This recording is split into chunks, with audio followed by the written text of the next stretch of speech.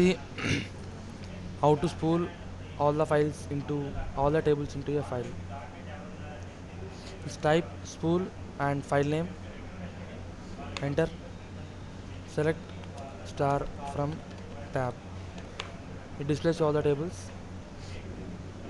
Simply you copy them into notepad. You copy all the tables into notepad so that the work becomes easy them here now let's copy table number 1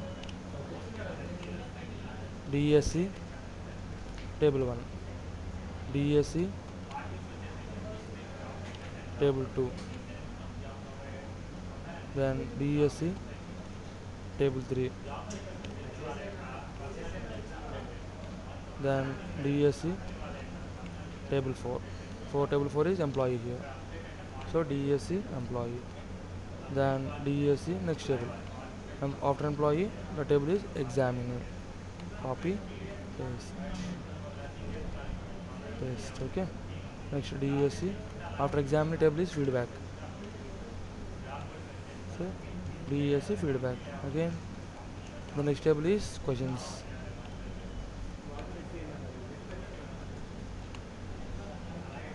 Then last table is VFB visitors feedback then once you complete all the tables go for spool off SPOOL off. That's it. Then just you right click on icon then copy this path my computer paste the path here. Here you will get all these things on the name conference.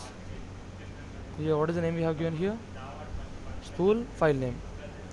Here we have given the file name as conference. See? Spool conference. So here in this location in bin see in bin here automatically a file get generated.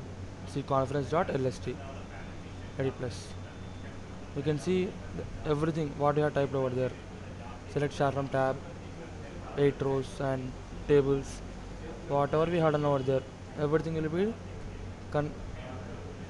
sent to a file. Okay?